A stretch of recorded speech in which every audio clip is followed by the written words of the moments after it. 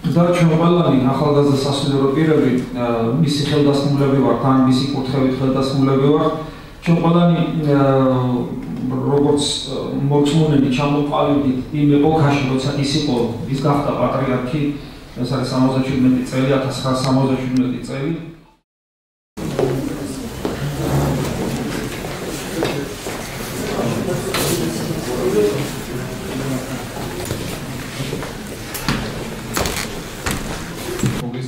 მოგესალმებით წმინდა სტეფანე ახსარელის სახელობის კულტურულ საგანმანათლებლო სახლის კენოზისის ორგანიზებით პატრიარქის აღსაყრებიდან 39 წლის თავთან დაკავშირებით ჩატარდება ღონისძიება შეხვედრა დეკანოს თეოდორე გიგნაძესთან საუბრის თემა იქნება მართლმადიდებლობა დღევანდელი შეხვედრა უწმინდეს და უნეტარეს ჩვენს პატრიარქს ილია მეორეს მადლობას მოგასცემთ მომწანებისთვის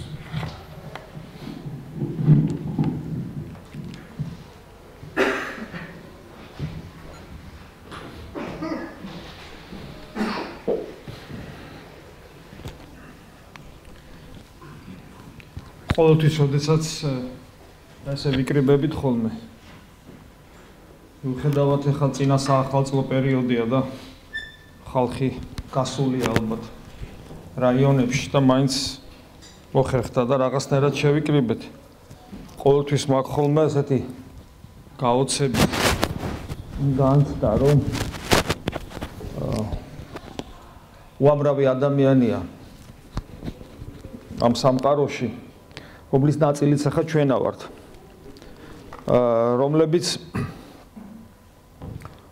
ეს ჩემპირად განცდას გეუნებით, რომლებიც ისე ფიქრობენ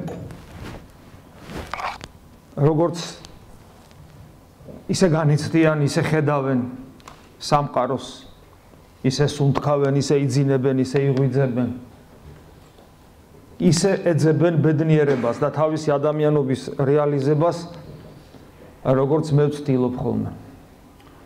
და რადგან თქვათ, ჩემი პირადი ყველაფერი, რაც ჩემ ადამიანობას უკავშირდება, ეხება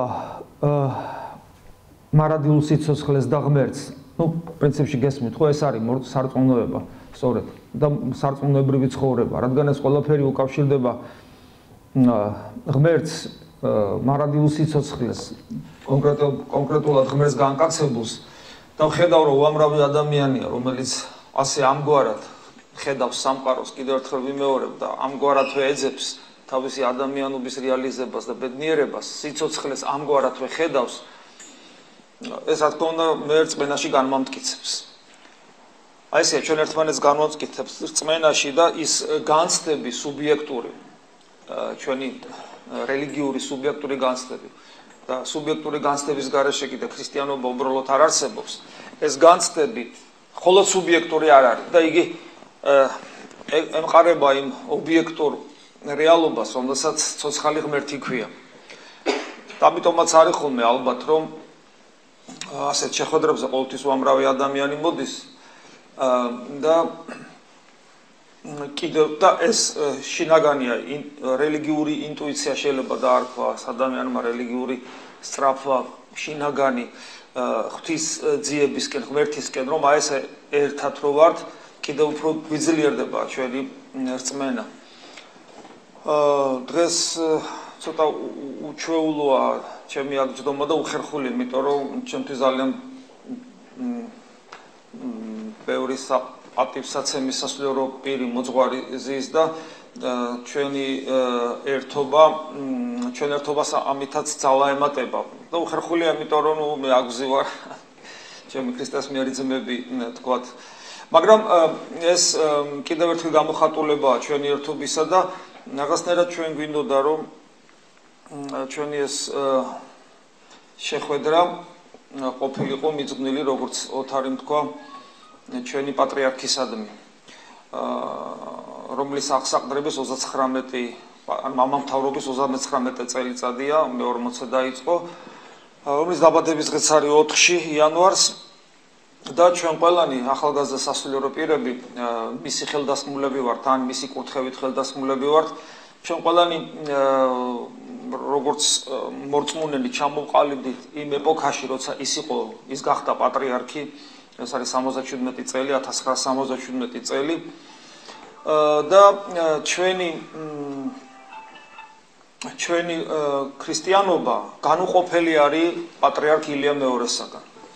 ჩვენ სხვანაირ ქრისტიანობას არ ვიცნობთ ჩვენს რეალობას ჩვენ სამყაროში იმიტომ რომ როცა ჩვენ გავხდით მორწმუნენი სულ პატრიარქი იყო ილია მეორე. ამიტომ ყველაფერი მას უკავშირდება როგორც ჩვენს მამამთავარს და ჩვენ გვაქვს მადლიერების განცდა ამ ადამიანისადმი რომელმაც ძალიან რთული ეპოქა გამოიარა თვითონ და რთულ ეპოქაში გამოატარა ჩვენი ეკლესია. ვისაც ცოტა ასაკი აქვს ну ხუბრო ხოლმე რომ ხრუშოვს მოვესწარი მეთქი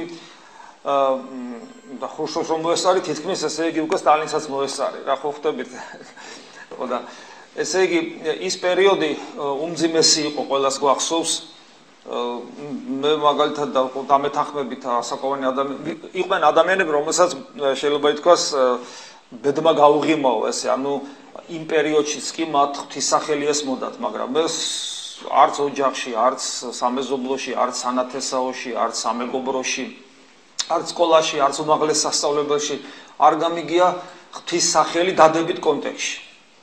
თუ გამიგია მხოლოდ უარყოფით უარყოფით კონტექსში და ეს იყო ძალიან მძიმე, რა თქმა უნდა და სერიოზული პრობლემა. თავისთავად ცხადია, ეს იყო სრული ვაკუუმი. ინფორმაციული გნება სრული ვაკუუმი. და აი აი ამ პერიოდში მე მახსოვს სკოლაში სწავლობდი და მესმის ჩემი ქართულის მასწავლებლისაგან რომ ასე იგი ჩვენ ყავს ახალი პატრიარქი ეს უკვე უფროს კლასებში ვიყავი ეს მე ალბათ მე-10 კლასი იყო უკვე ან მე-9 მე-10 რომ ჩვენ ყავს პატრიარქი რომელიც არის რაღაც განსაკუთრებული პიროვნება ეს მახსოვს მაგრამ ეს რას ნიშნავდა ეს განსაკუთრებული პატრიარქი რა იყო საერთოდ არაფერი არ ვიცოდი აა თვითონ ჩვენი პატრიარქის პიროვნებას ძალიან ბევრი იწერება, ძალიან ბევრი ითქმება, წიგნები გამოდის. ჩვენ თვალწინ გამოატარა მან ეკლესია ძალიან მძიმე პერიოდში. ეს პერიოდი იყო ძალიან მძიმე, ძალიან მძიმე. შემდგომში საქართველოს რაც თავისუფალი გახდა, არანაკლებ მძიმე პერიოდები გამოიარა, ჩვენ ვიცით. და ეხლა ერთ-ერთი ყველაზე მძიმე პერიოდი, როდესაც როდესაც იმდენარი შემოტევა ეკლესიაში, გარედან თუ შიგნიდან, რომ უკვე შეიძლება იყოს თლა, ადრე თუ რაღაც ერთი მტერი იყო ათეიზმი, რომელიც კონცენტრირებული იყო იდეოლოგიის სახით სახელმწიფოში, ეხლა უკვე იმდენარი მტერია და ესეთი მრავალფეროვანი, რომ ესე იგი შეიძლება ვეღარც კი გაიყვალო გზა ამ მტერთა და სხვადასხვა იდეოლოგიათა რომელიც მტრულად არის განწყობილი ქრისტიანული იდეოლოგია ქრისტიანული სარწმუნოებისადმი აი იდეოლოგიათა აი ამ ჯუნგლებში შეიძლება ასე ითქვას. და ძალიან რთულია, ძალიან დიდი სიბზნე ჭირდება, პატრიარქი გამორჩევა ძალიან დიდი დიპლომატიით და რა თქმა უნდა, ახლა პატრიარქის ბიოგრაფიას არ მოყვები, ჩვენ დღეს ესეთი თემა გვაქვს მართლმადიდებლობა, თუმცა ეს ცალკე პრობლემაა, როცა ჩვენ თქვა პრეტენზიას განვაცხადებთ, ვისაუბროთ მართლმადიდებლობაზე. Ну ეს არ არის 1 საათიანი შეხვედრის ფორმატი თავისთავად ხარდია მას ჭირდება ციკლი და ციკლი, თქვა შეხვედრებისა, რომ თქვა მეტნაკლებად გავიაზროთ, რასთან აქვს საქმე, იმიტომ რომ ვინც ცხოვრობს ქრისტიანულად, მან იცის თუ რა რა სიდიადეს უახლოვდებით, როცა თქვა ჩვენ გვაქვს პრეტენზია ვიყოთ მართლმადიდებელი და როგორი გამოუკლევია მართლაც საფრთხო განგებულება რომ მიუხედავად იმისა რომ ჩვენ მოგვეცა ჭეშმარიტება გამოცხადების სახით და რა თქმა უნდა ერთ საათიან ფორმაში ჩვენ მართლმადიდებლობას ვერ ამოვწურავ თავისთავად ცხადია უბრალოდ კიდევ ერთხელ რაღაცა კუთხით შეიძლება შევეხოთ და დავინახოთ. ისე ვთქვათ როგორც შეიძლება ამ წუთში ჩემთვის რაღაცნაირად იყოს მნიშვნელოვანი და თქვენ გაგიზიაროთ ეს ჩემი პოზიცია. უბრალოდ სანამ ამ თემა უშუალოდ ამ თემას ძირითად თემას შევეხებოდი მანამდე მე მინდა გითხრა თვითონ პატრიარქთან დაკავშირებით, რომ თვითონ პატრიარქი იცით, რომ იგი 1933 წელს დაიბადა, ხო გესმით? მთელი ეპოქა 1933 წელს დაიბადა და თვითონ მის აი ერთ-ერთი რაც საინტერესოა თქვა ჩემთვის, ხო? ჩვენ ვიცით, რომ არსებობს ტრადიცია, რომ ბავშვებს ნათლავენ მართლმადიდებლურ სამყაროში და საქართველოს ეს ტრადიცია ფეხმოკიდებულია თავისთავად ცხადია, მაგრამ პატრიარქი მოინათლა მესამე დღეს. ეხლა სამი დღის ბავში, როცა ის ჯამთელია მოინათლოს, თითქმის არ ხდება ხოლმე, როგორც წერია მის ბიოგრაფიაში და ერთ-ერთი მისი ნათლია თუ ერთადერთი მე არ მახსოვს იყო სასულიერო პირი თან ღდელ მონოზონი თუ არქიმანდრიტი, ესე ძალიან საინტერესოა, ხო, თავიდანვე იმ პერიოდში, იმ პერიოდში 1900 ეს ხო გესმით რა პერიოდია? მძვინვარე ათეიზმის პერიოდია. ხო? ანუ უკვე მისი ჩვილობაც უკვე რაღაც ეკლესიურ გარემოში წარიმართა და ეს ძალიან საინტერესოა. და როდესაც ის გახდა პატრიარქი ა 77-ში, უკვე 78 წელს გამოდის მისი პირველი საშობაო ეპისტოლე და მეორე საღდგომო ეპისტოლე. და აი ამ ეპისტოლეში ორივე ეპისტოლედან მე მინდა პატარა სულ რამდენიმე სიტყვიანი ამონარიდი წაიკითხოთ რომელმაც რომელიც შეიძლება ესე დავინახოთ აი ღვთის სიტყვა ღვთის განგებულება განცხადებული ამ ადამიანის მიერ. ანუ მე ის ფაქტი არ მინდა რომ განსაკუთრებული რამე ითქვა პატრიარქისგან ამ დროს. არა. ნებისმიერი სასულიერო პირი ამგვარად უნდა ფიქრობდეს ამგვარად უნდა აზროვნებდეს მით უმეტეს მამათავარი მაგრამ უბრალოდ ეს იმ პერიოდში განცხადებული, აი ესე ხმამაღლა და მერე იმ მისიონერული დათვლით, როგორცაც რომელსაც ჩვენი პატრიარქი ეწეოდა, უკვე სხვა მნიშვნელობა ენიჭებოდა. მაშინ და თუ ყველამ ვერ გაიგო, ამ ბევრმა ვერ გაიგო, მოდი ესე ვთქვა. ის კეთილი მარცვალი ჩაითესა, რომელმაც მიიღო ناقოფად ისო თუნდაც ჩვენ დღეს აი ამდენი სასულიერო პირი ვართ საქართველოში და ამ ხელამ რევლი გყავს. ეს ამონარიდები ესეთია. საშობაო ეპისტოლედან ესე შეიძლება აღმოვიკითხოთ. ადამიანის სულს 1978 წლის საშობაო ეპისტოლე ადამიანის სულს თავისი საზრდო უნდა ეპოვა ღმერთში და ღვთით ეცხოვრა. ხოლო ადამიანის ხეული უნდა დაქვემდებარებოდა სულს იმ პერიოდში და ეს ეპისტოლები ვრცელდებოდა ხალხი კითხულობდა იმ პერიოდში როცა ადამიანების უდიდესი უმრავლესობა დარწმუნებული იყო რომ ჩვენ განვითარებული ცხოველები ვიყავით ну მაიმუნი იყო ეს ხო ცალკე თემაა კიდე. და თითქმის დარწმუნებულები ყველანი უდიდესი უმრავლესობა რომ არანაირი ღმერთი არ არის და არის ის ასაც ჩვენ ხედავდა.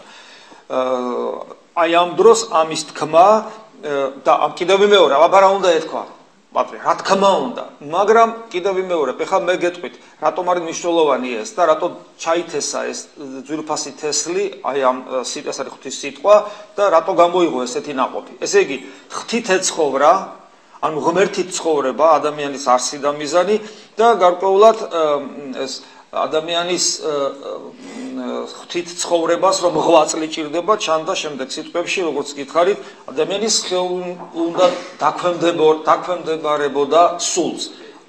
აი აქ ესე იგი ჩანს ასევე თქვათ თუ იმისათვის რომ ღმერთით ვიცხოვროთ ადამიანს უნდა უქონოდა ღვაწლი. და შემდგომ საღდგომო ეპისტოლე თუ პირიქით ის იყო სააღდგომო ეს საშობაო აღა ამას არ აქვს პრინციპული მნიშვნელობა. აა როდესაც მორწმუნე ადამიანი რეალურად შეხედავს ცხოვრებას თავის გარემომცველ სამყაროს მიდის დასკვნამდე რომ მიწიერი ჩვენი ცხოვრება ეს არის მხოლოდ ნაწილი რაღაც დიადისა განუსაზღვრელისა. ეს არის მხოლოდ მომზადება მარადიული და უკვდავი ცხოვრებისათვის მარადიული მომზადება ჩვენ ჩვენ ჩვენი ცხოვრება მიზანი ყოფილა მომზადება მარადიული და უკვდავი ცხოვრებისათვის. ეს ეს ის პერიოდია როდესაც საბჭოთა კავშირი ჯერ კიდევ ემზადება კომუნიზმში შესასვლელად და მიწიერი სამოთხის მოსაწყობად. ეხლა რატომ იყო ეს სიტყვები ძალის მატარებელი? და რატომ არ შეიძლება თქვა გადაქცეული იყო ეს სიტყვები ლოზუნგად და ან უბრალო ცარიელ მოწოდებად, რომელსაც ناقოფი არ ექნებოდა. არა მხოლოდ იმიტომ, რომ თქვათ ეს სიტყვები იყო პატრიარქისა მამამთავრისა და უმაღლესი სამღვდელო იერარქიისა და შესაბამისად მადმოსილისა, არამედ ეს უკავშირდებოდა პატრიარქის პიროვნებას, როგორც პატრიარქს როგორც მისიონერს, შეიძლება ასე ითქვას, და პატრიარქის მისიონერობა იმ პერიოდში ორი მიმართულებით შეიძლება თქვათ. აა ან სამი მიმართულებით შეიძლება გამსაზღვროთ. პირველი ეს იყო იმ ჩატეხილი ხიდის, ან უბრალოდ უკვე აღარ არსებული, რაღა დროს ჩატეხილი, ალბათ ხიდის ხიდის საძირკვლების კი აღარ არსებობდა. იმ არარსებული ხიდის აშენება, რომელიც აუცილებლად უნდა არსებობდეს ერსა და ბერს შორის. და პატრიარქის ერთ-ერთი უმთავრესი საქმიანობა იყო ის, რომ მას მან მოინდომა და მოახერხა კიდევაც, რომ კავშირი ქონოდა საზოგადოებასთან, ინტელიგენციასთან, კულტურისა და მეცნიერების კულტურისა და მეცნიერების წარმომადგენლებთან და ამით დაიწყო ის ძალიან მნიშვნელოვანი პერიოდი საქართველოს, როდესაც ხალხმა გაიხედა ეკლესიისაკენ. მაშინ როდესაც თითქმის ეკლესიას არავინ არ ეკარებოდა, წირვებით სარიალ ტაძარში ტარდებოდა და რამდენიმე ტაძარი იყო სულ, არ არცებობდა სასწავლებლები, თუმცა უკვე იყო, ხო, გახსნილი რაღაც საფრთხისმოწყალო კურსებიც მოხერხდა, მე სემინარია, მე პატრიარქის თქვათ პერიოდში უკვე აკადემიას გაიხსნა, რომელიც ჩვენ დავამთავრეთ აქ ყოფნა სასულიერო პირებმა, ეს იყო ესე იგი სწორედ ეს მისიონერობის ერთ-ერთი მთავარი მიმართულება, კავშირი საზოგადოებასთან. და თუ ჩვენ დღეს, აი დღევანდელი სასულიერო პირები, თუ ჩვენ ვფიქრობთ, რომ რაიმე სწორს ვაკეთებთ, მისიონერული თვალსაზრისით, ფაქტობრივად ეს არის პატრიარქის აი ამ საქმით მოცემული კურთხევის გაგრძელება. კავშირი საზოგადოებასთან, კავშირი ჩვენს ერთთან, ინტელიგენციასთან, ახალგაზრდობასთან. ანუ გაგება იმისა თუ რა ტკივა ჩვენ ერთს, რა აწუხებს, როგორ ხედავს სამყაროს, რა ენაზე მეტყველებს, აი ეს ქონდა პატრიარქ ნიშულოვანი, რა ენაზეც მეტყველებდა მაშინდელი ჩვენი საზოგადოება იმ ენაზე დაელაპარაკა. ამიტომ მათთვის გასაგები იყო პატრიარქის სიტყვა. ამიტომაც მე არ ვიყავი მაშინ ეკლესიური და ამიტომ არ მახსოვს, მაგრამ დღეს რომ კითხულობ და მაშინდელი რაღაც რაღაცები რომ ახსენდება იგივე ჩემი თქვა მასალებლის რომელიც არ იყო ეკლესიური და აღფრთოვანებული მოვიდა სკოლაში, რომელიც იქ იყო რატომღაც, ხო? ესე იგი უკვე აქედან დასკვნას ვაკეთებ რომ და ვკითხულობთ რომ ხალხი ივსებოდა ეკლესია და დაიწყო აი ეს პროცესი რომელსაც დღევანდელ დღემდე მოგვიყვანა. ასე რომ ეს იყო ის სწორად გათვლილი მისიონერული ნაბიჯი რომელსაც ჩვენ ახლა ვაგრძელებთ. დღევანდელი სასულიერო პირები არაფერს ახალს არ ვიგონებთ. როდესაც ვცდილობთ კავშირ საზოგადოებასთან, როდესაც ვცდილობთ დღევანდელ ახალგაზრდებს, ინტელიგენციას, ჩვენი საზოგადოების ყველა ფენას დაველაპარაკოთ იმ ენაზე, რა ენაზე საუბარიც მასთან არის შესაძლებელი, რაც მათ კარგად ესმის. და როდესაც ხშირად ჩვენ გვაკრიტიკებენ, როცა ამგვარად ვფიქრობთ, ძალიან ხშირად ხედავთ უცნაური რაღაცას, რომ ჩვენ თითქოს ვიგრძალავენ საუბარს იმენაზე, რა ენას გასაგებია თანამედროვე საზოგადოებისათვის. არ შეიძლება დღევანდელ საზოგადოებას 21 საუკუნის საზოგადოებას ესაუბრო გასული საუკუნის შუა პერიოდის, თქვათ, ენაზე. დღევანდელ საზოგადოებას სხვა ენაზე საუბარი ჭირდება. ის ენა, რომელიც მათთვის ბუნებრივი და ძვირფასია. და ამით კიდევ ვიმეორებ, ჩვენ ახალს არაფერს არ ვაკეთებთ, ჩვენ ამით შემოქმედებითად უდგებით პატრიარქის აი ამ დაწყებულ მისიონერულ საქმიანობას და მის საქმეში გამოხატულ კურთხევას ჩვენ ცხოვრებაში ვატარებთ.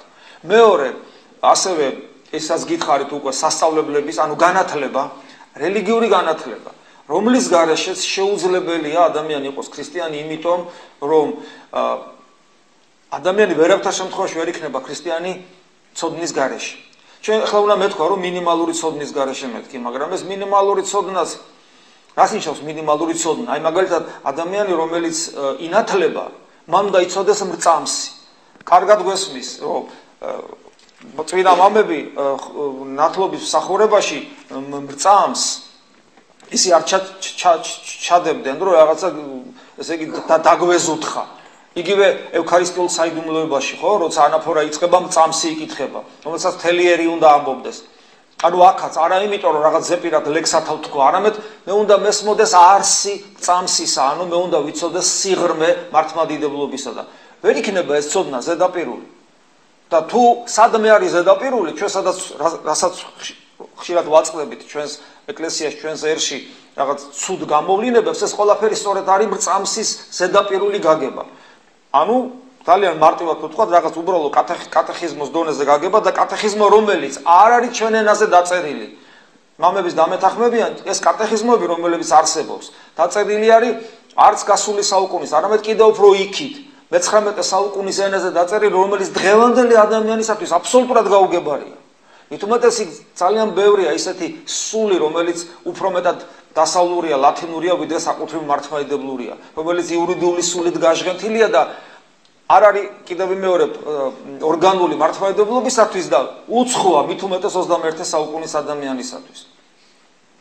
ანუ განათლების საკითხში ესე პატრიარქი მისიონერებს განას საგანმანათლებლო კერების აღორძინები ეს ჩვენთვის რა კურთხევაა დღეს ჩვენ ყველაფერი უნდა გავაკეთოთ იმისათვის რომ რელიგიური განათლება იყოს საქართველოსში ძალიან მაღალ დონეზე. და თუ დღეს ჩვენ ერთ პრობლემა გვაქვს სწორედ აი ამ განათლების დაკნინება არის ანუ ისე ვერ წარმოჩენ ისე ვერ არის წარმოჩენილი მართლმადიდებლობა ამ კუთხით განათლების კუთხით როგორიც როგორათაც ის უნდა წარმოჩინდეს და მესამე. პატრიარქი ერთხელ ყვება თავის ბიოგრაფიას კი არა რაღაც თავის ცხოვრებიდან რაღაც რაღაცას გვიყვებოდა და შეიძლება თქვენც მოსმენილი გაქვთ იმიტომ რომ მას რამდენჯერ მოუთქვავს ეს რაც მე ვიცი. როცა ის გახდა პატრიარქი მას უთხრეს დაიბარეს ესე იგი ну თავრობაში ცეკა იყო თუ რაც იყო და რელიგიის წმუნებული საპარატი იყო მინისტთა საბჭოში რომელიც მოსკოვს ექვემდებარებოდა. პირდაპირ და უთხრეს რომ მოდი ესე გავაკეთოთ შენ ყოველ კვირას არ წირო თუ დაინახეს რომ ეს ადამიანი არის ну ძალიან მიმზიდველი ინტელიგენციისათვის და ხალხი მიდის ეკლესიაში თუნდაც მის სანახავად და მის სიტყვის მოსასმენად და პატრიარქის პასუხი იყო ესეთი მე არ შემიძლია რომ არ წირო ანუ წირო აუგზავნეს ფაქტიურად და პატრიარქი აქ წავიდა პრინციპულ პრინციპულად დადგა. ეს მისთვის იყო მთავარი, უმთავრესი პრინციპი, რომ მას აუცილებლად უნდა ეწირა. და ამით კიდევ ერთი კურთხევა საქმეში გამოხატული მისგან, რომ ღვთისმსახურება, ღვთისმსახურება იყოს უნიშნულოვანესი ჩვენს მისიონერულ საქმიანობაში. ეხლა პატრიარქი ჩვენი мама მოხუცდა და შესაბამისად მას რა თქმა უნდა ღვთისმსახურება ძალიან დიდი ენერგია ჭირდება მაგრამ მიუხედავად ამისა ის ძალიან ხშირად მსახურობს მაგრამ ვისაც კიდევ წინა წლებში უნახავს ჩვენი პატრიარქი როგორი ძალიან ბევრ ამას ისწავლიდი მოკლედ იმის თქვა მე და როცა ხედავდი პატრიარქი როგორ იდგა წირვაზე როგორ ჩაღმავებული იყო ის მსახურებაში და როგორ იწოდა მან სახურება და როგორი მნიშვნელოვანი იყო ეს და რამდენი მაგალითის მომცემი იყო. მას ძალიან ძველი სკოლა აქვს გავლილი, ესე იგი გარეგანი კეთილ მოწესეობისა, რომელიც აუცილებლად ჭირდება სასულიერო პრინციპისათვის, რომ შინაგანი სწრაფვა ღვთისაკენ რეალიზებული იქნას. ანუ ეს ყველაფერი ჩვენთვის არის მოცემული რეალურად დადებული მაგალითის როგორ როგორ ცოცხალი მაგალითი და ჩვენ დღევანდელი სასულიერო პირები ყველანი ვალდებულნი ვართ რომ ეს გზა გავაგზავნოთ. ამიტომ მე ესე მგონია რომ მე დღეს რასაც უყურებ ეკლესიის ჩვენ ჯანსაღ ნაწილს თითოეული სასულიერო პირი სწორედ აი ამ კურთხევის გამგზელებელია. კავშირი საზოგადოებასთან, განათლება და ღვთისმსახურება. და ამით ჩვენ ვერ დგულებთ ჩვენს მამამთავარს, ჩვენს სულიერ მამას ამით ჩვენ ვაგზელებთ მის დაწყებულ სასიკეთო საქმეს და ამით ჩვენ გვიყვარს ჩვენი პატრიარქი. ჩვენი პატრიარქი გვიყვარს არა სიტყვით მხოლოდ, არამედ ჩვენ საქმით ვადასტურებთ ჩვენი პატრიარქისადმი ერთგულებას და სიყვარულს, შესაბამისად ჩვენი ეკლესიისადმი სიყვარულს და სიყვარულს და ერთგულებას და მე ძალიან მიხარია რომ მარტო მე არა ვარ თქვა და მარტო ჩვენ არა ვართ ვინც აქ მამები ვზივართ ამ განწყობაზე არამედ საქართველოსში ძალიან ბევრი სასულიერო პირი უდიდესი უმრავლესობა სწორედ ასე ფიქრობს და ამგვარად იქცევა. ეს რაც მინდოდა მე თქვა პატრიარქთან დაკავშირებით. ეხლა ძალიან მოკლედ იმიტომ რომ კიდევ მეორე ეს თემა ძალიან დიდია და ამოუწურავია მართლმადიდებლობასთან დაკავშირებით. ხა მართლმადიდებლობა კიდევ მეორე ჩვენთვის არის მთელი სამყარო. ან ღმერთის სწორად დიდება გამოხატული ცხოვრების წეში, ღმერთის სწორად დიდება, ღმერთის სწორად დანახვა. რომელიც კიდევ მეორე ცხოვრების წეში ვლინდება, სოფხედველობაში ვლინდება, ჩვენს აზროვნებაში და ასე შემდეგ, ეს არის მთელი სამყარო. ფაქტობრივად მართლმადიდებლობა არის ჩვენი ჩვენთვის თელი სამყარო ამოუწურავი და თუ რაიმე ღირებულებითი არსებობს ჩვენთვის ღირებულებითი ყველაფერი უკავშირდება მართლმადიდებლობას აი მაგალითად სიცოცხლე ერთ-ერთი უმაღლესი ღირებულება, ხო? მე ვგულისხმობ ადამიანურ სიცოცხლეს და არა უბრალოდ ბიოლოგიურ სიცოცხლეს. ეს ჩვენთვის მორწმუნეთათვის უკავშირდება მართლმადიდებლობას. ღირსება მაგალითად, ხო? ну ქართული სიტყვაც ესია ხო ღირსი ღირსი ღირსი იმისა რომ შენ ესე იგი მარადული ცხოვრების ცხოვრება დაიმკვიდრო. ღირსება ჩვენთვის ქრისტიანებისათვის უკავშირდება მართლმადიდებლობას. პატივი უკავშირდება მართლმადიდებლობას. შემოქმედებითობა უკავშირდება მართლმადიდებლობას. სიხარული ბედნიერების განცდა და ასე შემდეგ. ყველაფერი უკავშირდება მართლმადიდებლობას და ერთ-ერთი რაც თელი სისავსით უკავშირდება მართლმადიდებლობას, ეს არის ის უმნიშვნელოვანესი ღირებულება ადამიანისა, რომელსაც ქვია თავისუფლება, რომელიც არის ის ინსტრუმენტი, რომლის გარშეც ადამიანი უბრალოდ ადამიანი არ არის, ადამიანი ქრისტიანი მორწმუნე ვერ ცხონდება, არც სიყვარული შეეძლება და ასე შემდეგ. თავისუფლება. რა ფენომენია ეს თავისუფლება? ჩვენ ვიცით რომ ეს ღირებულებები რაც ჩამოთვალეთ, შემოქმედებითობა იქნება ეს თუ სიყვარული იქნება ეს თუ ღირსება იქნება ეს თუ ეს ყველაფერი და მათ შორის თავისუფლება და სიцоცხლე როგორ არის დამახინჯებული? ანუ სიტყვები დარჩა, მაგრამ არსი არის დამახინჯებული. ამას ჩვენც უწყობთ ხელს ქრისტიანები, იმიტომ რომ ჩვენ თვითონვე შიგნით ქრისტიანობაში ძალიან ბევრაბეს ვამახინჯებთ. აი მაგალითად, ეკლესიის წინახში შეიძლება ადამიანი იყოს ეკლესიის წევრი და მან არ იცოდეს სინამდვილეში ვინ არის ღმერთი. მან არ იცოდეს რას ნიშნავს 64, რა არის 64, რა არის ჯოჯოხეთი, რა არის ეკლესია, რას ნიშნავს სასულიერო პირი მღვდელი. რას ნიშნავს ზიარება, რას ნიშნავს სინანული, რას ნიშნავს აღსარება, რას ნიშნავს ნათლობა, რას ნიშნავს ლოცვა, რას ნიშნავს ასკეტური ცხოვრება. სიტყვების სიტყვები არსებობს და ამ სიტყვების უკან სხვა აზრდებდეს, ვიდრე ამას თქვათ ჩვენ ქრისტიანობა გვაძლევს. და რაღა ვთქვა ეკლესიის გარეთდგომ ადამიანებზე. და ასევე ეს ეხება რა თქმა უნდა იმღირებულებით ტერმინოლოგიას, მათ შორის თავისუფლებას, რომელიც არასწორად ესმით ადამიანებს. ჩვენ ქრისტიანებს თავისუფლება სხვანაირად გვესმის, ანუ ისე გვესმის, უნდა გვესმოდეს ყოველ შემთხვევაში, როგორც ეს ქრისტემ მოგვიტანა, ქრისტემ გვასწავლა. რაც შეეხება თავისუფლებას, მე ადრეს სწორედ ამ დარბაზში საუბრობდით ამ თემაზე და აი ადამიანი რომელიც თქვა ძიების პროცესია მან შეიძლება ესე ესე დაინახოს. თქვა ესე ესე ესეც იფიქროს მარტო ესე კი არა ესეც იფიქროს რომ გაიაზროს თელი ქმნილი სამყარო. ერთ დიდ სფეროთ სივრცულ სფეროთ შეიძლება სადაც თელი ქმნილი სამყაროა როგორც ხილული ისე უხილავი ანუ მატერიაც თავისი მასის ენერგიით სივრცეც დროც და ასევე ის ანგელოზებრივი სამყარო, სამყაროს, რომელიც ამ ქმნილ სამყაროში შეიძლება ესე მოვიაზროთ მთლიანად, სადაც დემონები ყოველ შემთხვევაში ხო დაცემული ანგელოზები ცისქვეშეთში რომლებიც არიან, ეს ყველაფერი შეიძლება ერთ სივრცეთ წარმოვიდგინო და ჩვენც რა თქმა უნდა აი ამაში ვიმყოფებით.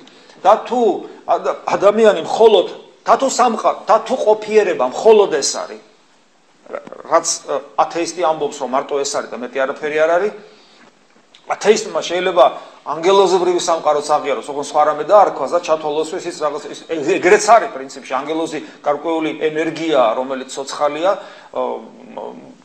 მატერია მაგალითად გრავიტაცია მატერია მაგრამ თვალით არ ჩანს მაგრამ ის არსებობს. ანუ ათეისტმა შეიძლება ეს ოფხედელობა მიიღოს ოღონდ სხვა ყოფიერებას ათეისტი არ აღიარებს და ქრისტიანი ადამიანი მაძიებელი ადამიანი ესე ფიქრობს რომ თუ ყოფიერება მხოლოდ ეს არის და ამასაც სფეროს სახით წარმოიდგენს და პრინციპში მე სფეროს შემთხვევით არ ვახსენებ დიდი აფეთქების თეორიაც სფეროზე მიანიშნებს ხო? გაიშალა და სფეროს სახი აქვს და ეს ფართოვდება. და ადამიანი არის ამის ნაწილი მაშინ სიტყვა თავისუფლება ამ სიტყვის ძალიან დიდი გაგებით შეიძლება ასე ითქვას დიადი გაგებით ჩვენთან არ არსებობს. იმიტომ რომ თუ ყოფიერება არსებობა მხოლოდ ეს არის რაც არსებობს, აი ესე ამგვარად, ხო? მაშინ აუქ აღაუცილებლად ეს სამყარო არის დეტერმინირებული მიზეშოდეგობრივი კავშირები არსებობს ყოველ მოვლენასა და მოვლენის შედეგსა შორის ყველაფერი იმ აფეთქებიდან რაც დაიწყო და ადამიანის არის დეტერმინირებული ანუ ყოველი ჩვენი წამი დამოკიდებულია წინა წამზე ყოველი ჩვენში ჩვენ ცხოვრებაში არსებული მოვლენა ფსიქოსომატური თუ სულიერი წინა პერიოდზეა დამოკიდებული და აბსოლუტურად ყველაფერი არის განსაზღვრული და ფატალიზმით ადამიანის შეკრულია და ეს არის ის მდგომარეობა, სადაც თავისუფლება უბრალოდ ვერ იარსებობს. აი ესეთი არსებობისათვის თავისუფლება შეუძლებელია იყოს. მაგრამ როდესაც ჩვენ საუბრობთ თავისუფლებაზე და არის ჩვენ იცით რომ უამრავი სოფხედელობა არსებობს თვითონ ფილოსოფიური სისტემას რომელიც თქვა რელიგიაშიც კი შევიდა. კალვინიზმზე ამბობენ თქვა ეს პროტესტანტული მიმდინარეობა სადაც მსგავსი რამ არსებობს. ასევე შეიძლება უამრავი ადამიანი არსებობს რომელსაც შეიძლება ამგვარად ჯეროდეს და ჩვენ ალბათ გვინახია ესეთი ადამიანები რომლებიც უარყოფენ თავისუფლების არსებობას. მათთან საუბარი ცოტა რთულია. ლოგიკურად ბევრი ბევრი ყველაფრის დასაბუთება ესე ადვილი არ არის. მაგრამ არის ერთი რამ რომ ყველა ადამიანი ხვდება. რომ მართალია ლოგიკურად შეიძლება იქ მსჯელობა წავიდეს და რაღაც მაგრამ პირველი რაც დასაბუთებას მაინდა-მაინც არ საჭიროებს ადამიანი ყველა ადამიანი ამას თავის თავში გრძნობს.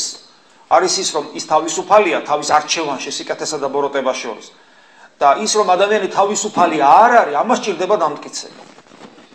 და თავისუფალი რო არის ამას ინტუიციურად ყველა ადამიანი მეტნაკლებად გრძნობს და მაშინ ჩდება კითხო რომ თუ ადამიანი აი ამ დიდი ყოფიერების სფეროს ორგანული ნაწილია და მორჩა და თუ ყოფიერება და სიცოცხლე და ცხოვრება და არსებობა მხოლოდ ეს არის რაც ამაშია და ჩვენ ამის ნაწილი ვართ მაშინ თავისუფლება არ არსებობს იმიტომ რომ ეს მე ჩაკეტილ სივრცეში ადამიანი და მაშინ გამოდის რომ კითხვა ჩდება კი მაგრამ ეს განცდა თავისუფლების საიდან არის და როგორ არის?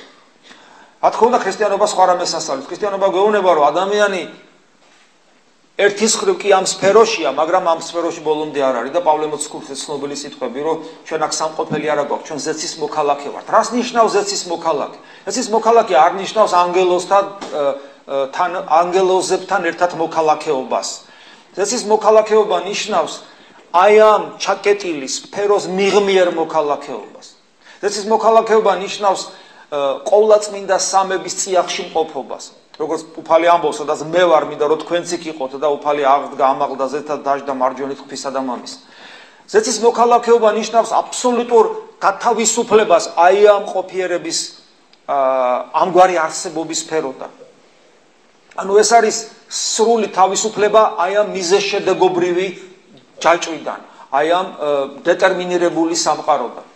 და ქრისტიანობა ამას გვთავაზობს არა არა უბრალოდ მოწოდებით, არა ლოზუნგით და ასე შემდეგ, არამედ ქრისტიანობა ამას თავაზობს რეალურად, მადლის მიერ. ანუ როცა გვეუბნება ქრისტიანობა, რომ თქვენ თავისუფლები ხართ, ამაში ამას მოაყოლებს იმ გზასაც, თუ როგორ ვარ ჩვენ თავისუფლები და რას ნიშნავს ჩვენთვის ეს თავისუფლება.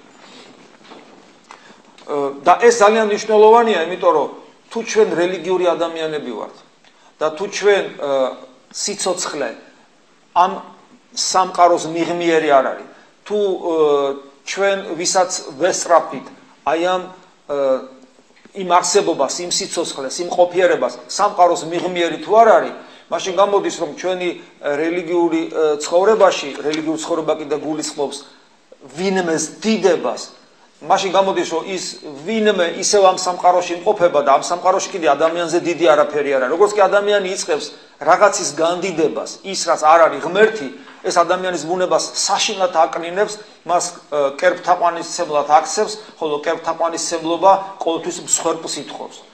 და ეს დიახაც რელიგიურ ცხოვრებას შეიძლება მოხდეს. აი მაგალითად ფარისევლები, ფარისევლები, რომლებიც თითქოს და მორწმუნეები იყვნენ, სინამდვილეში მათ შექმნეს წარმოდგენა ღმერთზე, რომელიც ამ სამყაროში არსებობდა იმისიქით აღარ გადიოდა, ისინი ჩარჩენამ წესსა და კანონის ჩარჩოებში იმისიქით ვეღარ გავიდნენ და ქრისტე სახარებაში სულ აანგრევს ამ წესსა და კანონს ამ ჩარჩოებს. ამიტომ ის მიზან მიმართულად რა მას განაარჩეულო სხვა დროს განეკურნა ადამიანი.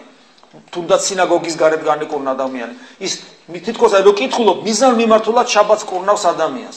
ქრისტე აანგრევს ამ ჩარჩოებს რომ დაანახოს ფარისევლებს ანუ ღრმად მორწმუნე ადამიანებს რომ სინამდვილეში ღმერთი გაცილებით დიადია, ვიდრე მათ გონია და არანაირი ჩარჩოები ღმერთს ვერ შემოზღუდავს. არათუ ჩარჩოები წესსა და კანონის, არამედ საერთოდ ამ სამყაროს მიღმიერია ღმერთი.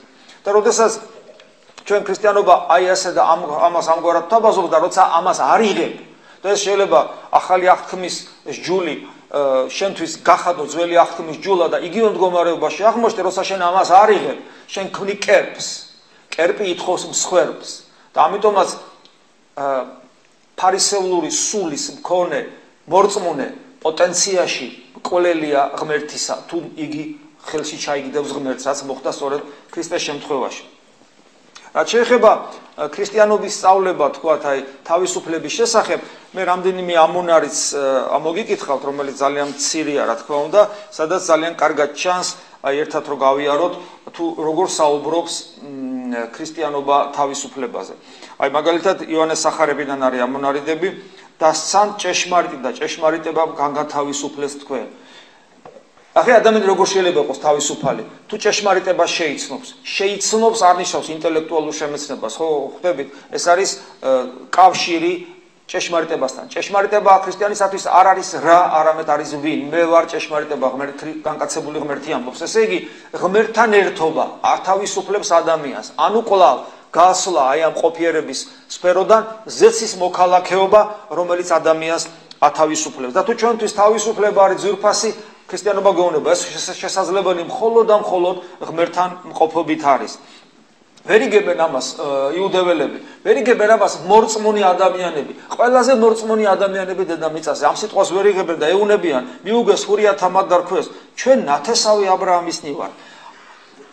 და არასადა ვის მონებდით, ვითარეგე შენიტყვე, ვითარ მე გამთავისუფლდეთ. ანუ უკვეთ ისინი სწორად ცხოვრობენ ჯულის მიხედვით.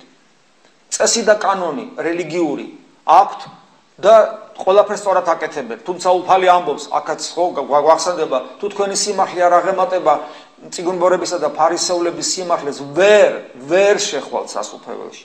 ვერ შეუძლებელია ეს. ანუ ესე ძალიან მნიშვნელოვანია, ხო? ესე იგი, თუ ჩვენ ა ブラ ამ აი ამ უხურიების მსგავსად შევხედავთ ამ ყველაფერს, აღმოჩნდებით ძალიან სერიოზული პრობლემის ქვეშ და ვერ გავიგებთ მათთან ერთად. მათ არ ესმით, რას ეუბნება, რაზეა ლაპარაკი. ჩვენ ხო არასოს მონები არ ყოფილვართ. რო რას ნიშნავს, რომ რის გამო და გამთავისუფლდეთ? ჩვენ მონები არა ვართ. და შემდეგ გძელდება უფალიანობა. მიუგო იესო და რქვამან, ამინ გეტყვ, ამინ ამინ გეტყვით თქვენ.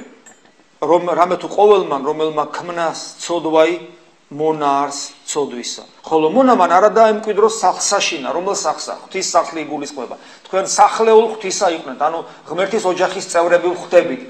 ზეცის მოქალაქენი, ხელთუქმნელი სახლი გვაქვს ხო ზეცაში. აი იმ სახლზეა ლაპარაკი და არა დაემკვიდროს უკუნისამდე, ხოლო ძემან დაემკვიდროს. ნუ ეს კიდე სხვა თემაა, ძემ ძე რას ნიშნავს, მაგრამ აი უფალი მიზეს ასახელებს. ესე იგი, რას ნიშნავს, რომ არა ვარ თავისუფალი, თავისუფალი, მონავარ ცოდვისა. და რა თქმა უნდა, ეს მხოლოდ იმ შემთხვევაშია გასაგები, როცა ჩვენ გვეცოდინება რას ნიშნავს ცოდვა. და ჩვენ ქრისტიანებმა უნდა ვიცოდეთ, ცოდვა არ არის რაღაც ცოდვის არა ამ შემთხვევაში მნიშვნელოვანი არაცოდვის იურიდიული გაგება დავაშავე, დავისაჯიან, გავმართლდი. არამედ ცოდვა როგორც აი ბერძნული სიტყვა ამარტია, ანუ აცდენა, როდესაც ადამიანი ცხოვრობს, ადამიანის მთელი ყოფიერება და ცხოვრება აცდენილია ღმერთს. როცა ღმერთსა და ადამიანს შორის არის გადაულახავი ზღუდე, რომელზეც და ისეთი გადაულახავი, რომელზეც უფალი ამბობს, რომ ადამიანისათვის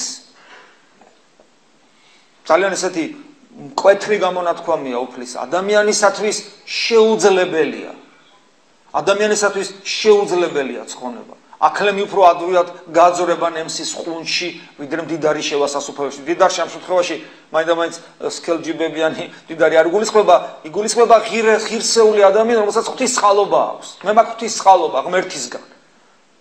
და ამით ვარ მდიდარი. და წყალობა შეიძლება იყოს ფული, შეიძლება იყოს ნიჭიერება, შეიძლება იყოს ჩემი კეთილი საქმეები, და აი ესეთი მდიდარი ვარ და უფალი მეუნება ვერ შეხვალს აკლემი უფრო ადვილად გადრობაში ნამსის ხრელში. გასმით აი ეს და ეს შეუძლებლობა ეს შეუძლებლობა რომელიც უფალმა აი ესე გამოხატა ეს იმპერატიული ტონ ვერ შევა სასუფეველში აი ეს არის ცოდვა შეუძლებლობა ღმერთთან ყოფობის.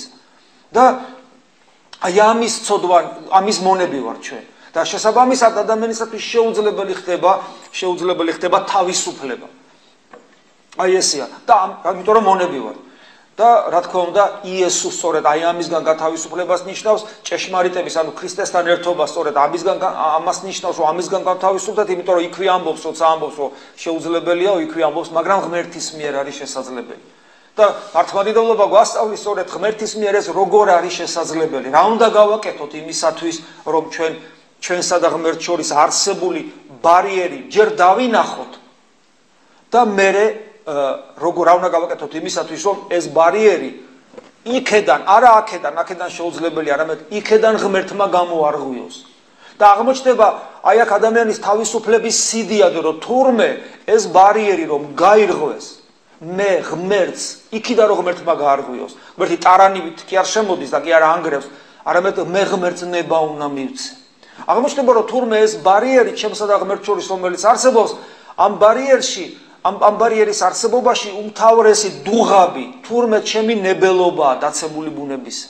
გასვით, აქ უამრავი ნიუანსია და თავისუფლების სიდიადე ამაშია, რომ მე ნებას ვაძლევ ღმერთს გაანგრიოს ეს ბარიერი, შემოვიდეს და წამიყვანოს თავისთან და აი ამ სფეროდან გამიყვანოს თავის მარადულ სამყოფელში. და მე იმითო ამბობს, უკეთ თუ ძემან გაგან თავისუფლეს ჭეშმარიტად თავისუფალი იყვენ, იყვნები. ეხლა აი აქ შემდგომში თავისუფლებაზე როცა საუბრობს, საუბრობს რჯულზე. ოღონ პავლე მოციქული რომელთა მიმართ ეპისტოლეში. ახლა კი მკვდრები რჯულისათვის, რომლითაცაც შეკრული ვიყავით გათავისუფლდით რჯულისგან.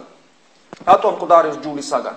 ანუ მცნება, წესი, კანონი და რჯული გიფიქსირებს, გაჩვენებს, რომ შენ ცოდვილი ხარ, შენ მკვდარი ხარ, შენ სიკვდილისკენ მიდიხარ, თორე ადამიანი ვერ ხედავს. ჯულის დანიშნულება იყო არა ადამიანის გადარჩენა. არამედ ჯულის დანიშნულება იყო რომ ადამიანი გამოეფხიზლებინა და ეჩვენებინა რომ შენ მკვდარი ხარ. ანუ იმ სიკვდილით მკვდარი, რა სიკვდილითაც ადამიანი მოკვდა.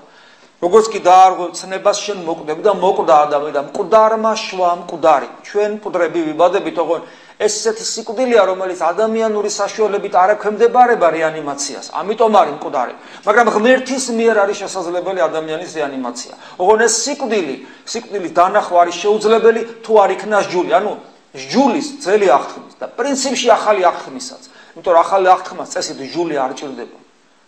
ჯული გვაქვს იმიტომ, რომ ჩვენ ვერ შევძელით სიყვარული ქრისტესი. გესმით? და რას დრო გადის ეკლესიის ისტორიას ვინც იცნობს, როგორ იღებს ფორმირებას საეკლესიო სამართალი, ანუ ახალი აღთქმის ჯული, იმიტომ რომ სხვა გზა არ არის, იმიტომ რომ ძველი აღთქმის ადამიანი შემოდის, ვერ ხედავს ქრისტეს, არ აქვს უნარი, რომ საკუთარი თავი დაინახოს, ამიტომ კვლავ საჭირო გახდა ჯული, რომ ახალი აღთქმის ეკლესიაში ნომინალურად ყოფ ქრისტიანს დაენახა თავისი თავი და საჭირო იყო ამისათვის ჯული და ამ თავის თავის დანახვის მერე ნელ-ნელა გათავისუფლებული იყო ამ ჯულისაგან. ესე იგი, მკვდრების ჯულისათვის, რომლითაცაც შეკრულ ვიყვებით, გავთავისუფლდით რისგან? რჯულისგან. ანუ რჯული დროებითია, ცნება, კანონი, განწესება დროებითია. რატო? რათა ვემსახუროთ ღმერთს, განახლებული სულით და არა დაძოლებული ასოთი. ამ შემთხვევაში გულისხმება ეს ასოკერკიტული მიდგომა. ანუ იმისათვის რომ ღმერთს ვემსახუროთ, რას ნიშნავს ღმერთს ვემსახუროთ? ღმერთთან ვიყოთ. ღმერთთან რო ვიყოთ, უნდა განახლებული სულით ვიყოთ თავისუფალი ყოველგვარი ჯულისაგან. აქაც მინიშნება მართლმადიდებელი ადამიანისათვის თუ იმისათვის რომ ხშირად ასე გვითხოვს ხოლმე რომ თავისუფლებას როცა აკეთებს ადამიანს აქცენტი ჩვენთან რომ მოდის ჩვენ მეუბნებით ხოლმე რომ ისეთი თავისუფლების ხარისხი უნდა გქონდეს დედამიწაზე ვერ ეტეოდე. მხოლოდ ამ შემთხვევაში შეიძლება გახდე მართლმადიდებელი. შენ თუ ეს ასეთი წყურვილი თავისუფლებისა არ აგაქვს, შენ ვერასოდეს ვერ იქნები ჭეშმარიტი ქრისტიანი, იმიტომ რომ მხოლოდ ამგვარად თავისუფლებისაკენ სწრაფ ადამიანს სჭირდება ქრისტე. ქრისტე თუ არ შენი ბედნიერებისათვის, შენი თავისუფლების რეალების რეალიზებისათვის თუ ქრისტე სასიცოცხლოდ არ გჭირდება, ქრისტიანი ვერასოდეს ვერ გახდები და იქნები რელიგიური ადამიანი, რომელიც წესებს, კანონებს აღასრულებს ახალი აღთქმის ეკლესიაში და სინამდვილეში ეს ადამიანი არის ძველი აღთქმის ადამიანი. უკეთეს შემთხვევაში შეიძლება სხვა რელიგიის წარმომადგენელი იყოს თუ წარმართის კი ახალი აღთქმის ეკლესიაში. შემდეგ აგზელებს პავლე მოციქული ისევ რომელთა მიმართ ეპისტოლეში რადგან სიცოცხლის სულის ჯულმა ქრისტე იესოში გამათავისუფლა მე ცოდვისა და სიკვდილის რჯულისაგან. აი აქ გაყოფს ერთმანეთსაგან პავლე მოციქული სიკვდილის ჯული და სიცოცხლის სულის ჯული. რომელმაც ქრისტე იესოში ცოდვისაგან გამათავისუფლა. ძალიან საინტერესოა აი აქ რას ნიშნავს ეს სიცოცხლის ჯული. რითი განსხვავდება ეს სიკვდილის ჯულისაგან? ეს მე მახსენებს სიტყვებს საოცარ სიტყვებს უფლისა, რომელიც ესე ჟღერს. მოვედით ჩემ და ყოველი მაშვალნი და ტვირთმძიმენი, ანუ დაღლილები და დატვირთულები. ყოველი მაშვალ და ტვირთმძიმენი და მე განგან თავისუფლობ თქვენ. ეს არის საოცარი სიტყვები და როგორც ეგზეგეტები გამარტავენ ამ სიტყვებში არ იგულისხმება ხშირად ვიტყო სათოხარიდან მოსული ადამიანი რომელიც ფიზიკურად ამ ქვეყნიური საქმებით არის დაღლილი არამედ აი ამ მარშვალსა და პირთმძიმე ადამიანში იგულისხმება ღვთისმაძიებელი ადამიანი რელიგიური ადამიანი რომელიც დაიღალა ამ წესებისა და კანონების შესრულებით მაგრამ ცოცხალი ღმერთი ვერ იპოვა და შესაბამისად მისი სული მუდამ შიმშილს განიცდის. ეს ყოველას გამოგვიცდია, როცა ადამიანები ცხოვრობთ, ცხოვრობ, კითხულობთ ლოცვებს, მარხვებს, მეტანიებს ვაკეთებთ, ვეზიარები, რაღაც ამ წესებს ვასრულებთ, ვასრულებთ. და ექსტრემალურ სიტუაციაში, როცა ან განსასწრელი მოდის, ან სიკეთიდან გამომდინარე საცდური მოდის და ან ადამიანთან ურთიერთობაში, უცებ აღმოვაჩენ, რომ შიგნით ჩემში ღმერთი არ არის. იმიტომ რომ მე არ მოქმედებ როგორც უნდა იმოქმედოს ქრისტეს მოწაფემ. არ მოქმედებ როგორც ქრისტე ამ სამყაროში. არ მოქმედებ როგორც ქრისტე. არ ვარ ნათელი ამასოფლისა. არამედ პირიქით, ბრისხანებაში, დეპრესიაში, სასწარკვეთილებაში, ეგოიზმში, ანგარებაში, შურში, რაღაცში აღარ ვარდები. ანუ რეალურად ღმერთი ვერ ვიპოვე. და აი ამ დროს მეუნება ქრისტე, მოდი ჩემთან. ანუ რა არის ახალი რა არის სიცოცხლის ჯული სიცოცხლის ჯული არის ქრისტესთან ყოფობა არა წესის შესრულება არამედ ქრისტესთან ყოფობა და ეს განსხვავდება ერთმანეთისაგან როგორც წესები არ შევასრულოთ რა თქმა უნდა უნდა შევასრულოთ მაგრამ ეს არის მხოლოდ საფეხური იმ თავარისკენ ანუ მას ის მას აქვს რაღაც გარკვეული დანიშნულება გარკვეულ ეტაპზე და ის არის ეტაპი და არა მიზანი როგორც კი ჯული გახდება მიზანი როგორც წესი და როგორც კი წესი და განგება გახდება მიზანი იმ წამსვე ადამიანი კარგავს ცოცხალ ღმერთს. ამის მაგალითები ძალიან ბევრია წმინდა წერილში. ერთ-ერთი საოცარი მაგალითი არის, როდესაც ესე იგი კაცმა 12 საათი იმუშავა, დილიდან საღამომდე მთელი დღის სიცხე იტვირთა. იგავური სახეა სახარებაში. გასმით ისრაელში რა სიცხეა, ნუ კატასტროფაა და მთელი ეს დღე იმუშავა და ესე იგი გარკვეული თანხა მიიღო საფასურად. ერთი ტალანტი. და ამ დროს მოვიდა ადამიანი საღამოს 3 საათი იმუშავა და იმასაც იგივე მისცა ბატონო. და ეს გაგიჟდა და სამართლიანად გაგიჟდა. მისი გამძვინვარება სამართლიანია, როგორ თელი დღე ვიმუშავე და მომეცი რაღაც თანხა. და მან ბოლო საღამოს იქ წაიმუშავა 3 საათი და იგივე თანხას როგორ აძლევ? ეს რა უსამართლო ყოფილხარ. და ძალიან საინტერესოა უფლის პასუხი. შენ რას დაკვირდი ხო ეს მოგეცი? ანუ შენი სამუშაო ამდენი ხო ღირდა? კი. ხო და იქითკენ უღაიყურები ჩემია და რასაც მინდა განაუფლება არა მაგ როგორც მინდა ისე მოვიქცე. და აქ ხედავთ რომ ღმერთი უბრალოდ სამართლიანი კი არ არის. არამედ სხვა რაღაც სხვა სხვა საზომები აქვს სხვა განზომილებები აქვს. იგივე უძღებიშვილის იგავი ხო? უფროსი შვილი კაცო. თელი ცხოვრება ამსახურება და ამა დაამღერა ნახევარი ქონება მეძავებში მოვიდა და საოცარ პატივში აიყვანა და ესეც გაგულისდა როგორ და რანაირად ანუ ქრისტეს ხვანერად გვაჩვენებს ჩვენ და ჩვენ ნახალ წმინდა მამებთან საოცარ გამონათქვამს რომ ღმერთი სამართლიანი არ არის. იმიტომ რომ ღმერთი რომ იყოს სამართლიანი და მე წმინდა მამა საკუთარ თავზე ამბობს მე ხო დღეს სოცხალიც არ ვიქნებოდი. თვითონ მამადგანმა შეიძლება საკუთარ თავზე თქვას ღმერთი სიყვარულია ოღონდ ეს სიყვარული გაგება არა ამ ქვეყნიური სიყვარულია რომლის გაგება ჩვენ ძალიან გვიჭირს და ღმერთს ვაიძულებთ რომ სამართლიანად მოიქცეს. და ხშირად ამ სამართლის ამ არშინს ვითაც უნდა გაზომოს ღმერთმა ეს სამყარო ჩვენ მივაჩეჩებთ ხელში. აბა უფალო აი ესე გაზომე და არა სხვანაირად. გესმით? აი ეს არის ის უბედურება რაც შეიძლება ჩვენ გჭირდეს და თორედ უფალი გეუბნება რომ ამისგან გათავისუფლებთ ჩემთან მოდი ჩემთან მოდი და კიდევ ერთი რაც საინტერესოა თავისუფლებასთან დაკავშირებით ეს არის ადამიანის შინაგანი მეტოქე. შინაგანი მეტოქე რომლიც გამოც ის ვერ ლაღობს და ვერ ხარობს და ვერ არის თავისუფალი. ეს შინაგანი მეტოქე არის ის რაღაცა უცნაური ჩადებული რომელიც არ შეიძლება ცხოველს არ მაიმუნს გქონოდა რომელიც სულ პრობლემას გიქმნის როდესაც შენ არ ცხოვრობ ისე როგორც ქრისტე ცხოვრობდა როგორც ქრისტე ცხოვრობდა ჩვენი ვალდებულება, ჩვენ ხო ესე იგი ნახეთ ძალიან მოკლედ რომ თავისუფლება არის თავისუფლება გვენიჭება, ანუ ნამდვილი სიცოცხლე გვენიჭება ქრისტესთან ურთიერთობით. ქრისტესთან ურთიერთობა ნიშნავს იმას, რომ შენ მსგავსები ქრისტეს, სხვანაირად შეუძლებელია. იონე მოციქული ამბობს, გვასწავლის, რომ თუ შენ გინდა ქრისტიანი იყო თავის წერილებში, როგორც ქრისტე ვიდო და როგორც ქრისტე ცხოვრობდა, შენც ისე უნდა იცხოვრო.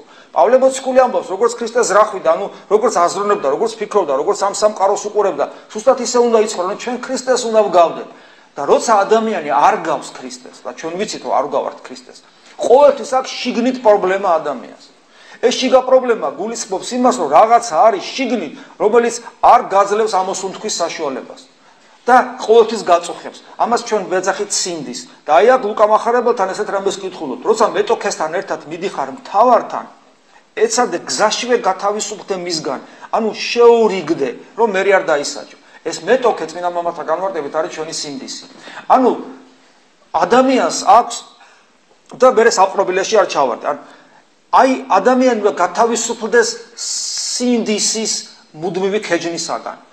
და ადამიანი იმდანაც წუხს ამითი, რომ ორ გზას პოულობს. ერთი გზა, რომელიც არის ვიწრო და ეკლიანი, როცა ადამიანი ქრისტეს ემსგავსება და ადამიანი თავისუფლდება სინდისის ქეჯნისაგან, იმიტომ რომ ქრისტეს ემსგავსება და აღარ აწუხებს სინდისს და ადამიანი ხდება ბედნიერი და თავისუფალი აი ამ ტანჯვისაგან და მეორე ფართე გზა, რომ ადამიანი თავის თავში კლავს სინდისს უნამუსო ცხოვრებით, მოდი ესე ვთქვა, და ეს არის გზა, ის ფართე გზა, როცა ადამიანი მიზან მიმართულად ებრძვის საკუთარ თავში სინდის, რომ როგორმე მისი მისგან განთავისუფლდეს და მისათვის რომ ეს მოხდეს, იგი ამ სოფლის სულს როგორც ნარკოტიკს ისე იყენებს, ხმარობს და შესაბამისად ამას აღწევს. მაგრამ ჩვენ ვიცით, რომ ეს არის ის ფართე გზა, რომელიც არის ტყუილი. ანუ კი არ გათავისუფლდა სინდისისაგან, ამერე მოკლა სინდისი, რითაც მან მოკლა თავის თავში ღვთის ღვთის მსგავსების შესაძლებლობა.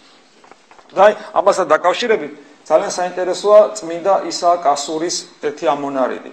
მე მინდა ეს ამონარიდი წაგიკითხოთ და ძალიან ბევრ რაღაცას გვაძლევს და სხვა სიღრმეში გადავყავართ აი ამ თავისუფლებასთან კონტექსში. გამოიძიე, გამოიკვლიე, აიძულე საკუთარი თავი ნახეთ, გამოიძიე, გამოიკვლიე, თვით შემეცნებაზეა საუბარი, იძულებაზეა საკუთარი თავი და როგორც კი მტერს მიუახლოვდები, იგი იმ წამსვე განგეშორება.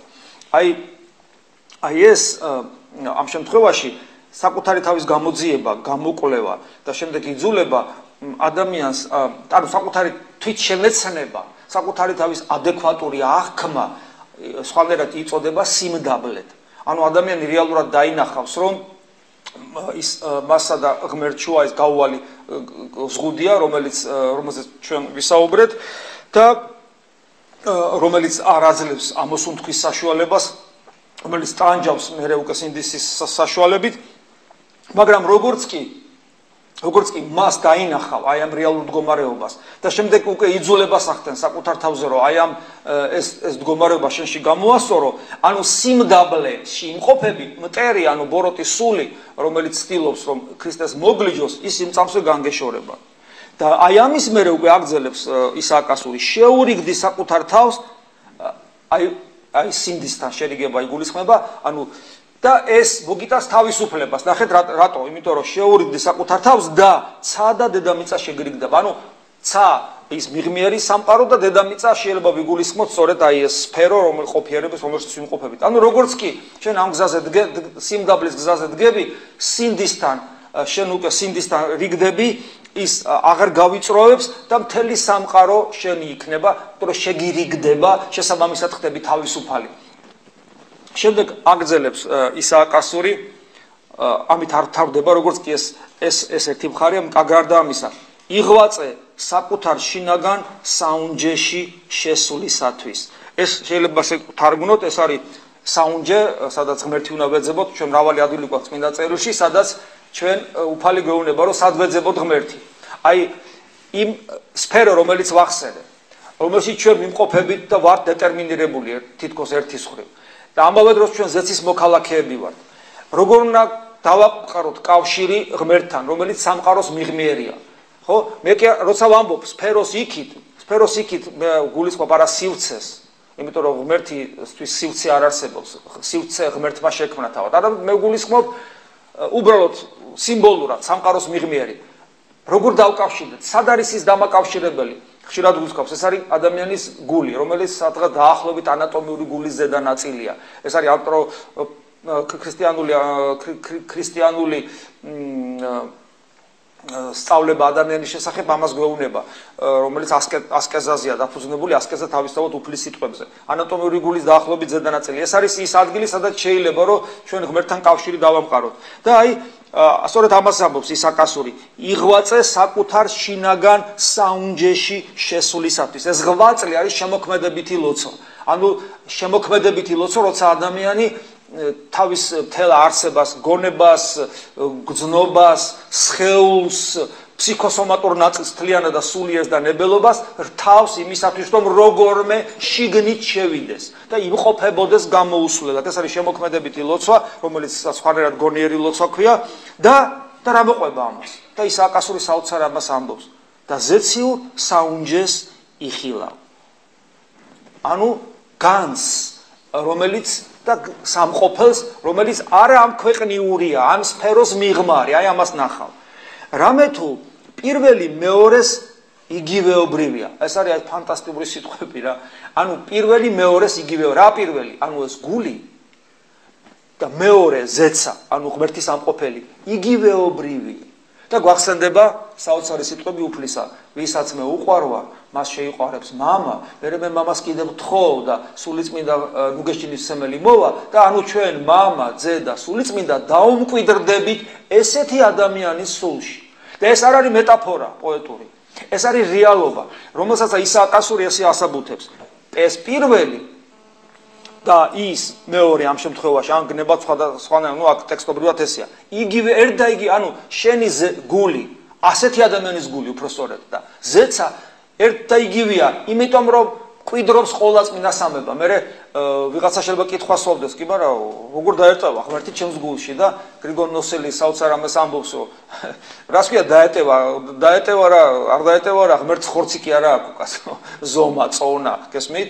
ღმერთი სივცისა და სივცის მიღმიერია და ამას ზონა წონა წონა არ აქვს, ამიტომ დაეტევა, არ დაეტევა ღმერთთან ეს უადგილოა, ისე როგორც უადგილოა ღმერთზე თქვა რა რამდენს იწონის ღმერთი, ხო? უადგილოა, ხო?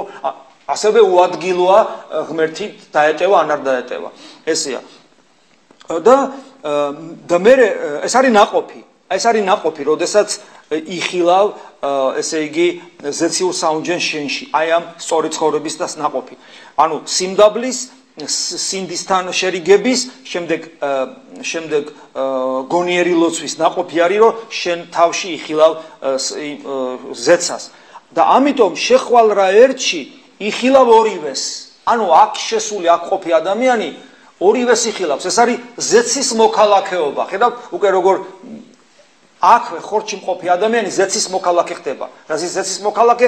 ანუ ამ სამყაროს მიღმიერი, ანუ დეტერმინირებული მიზეს შედოგობრივი ჯაჭვიდან ამოგლეჯილია ეს ადამიანი და ის არსებობს არა როგორც რაღაცის მიზეზი ამ სამყაროში, არამედ ის არსებობს უშუალოდ როგორც ღმერთის მიზეზი და მეცაც ვიტყვი.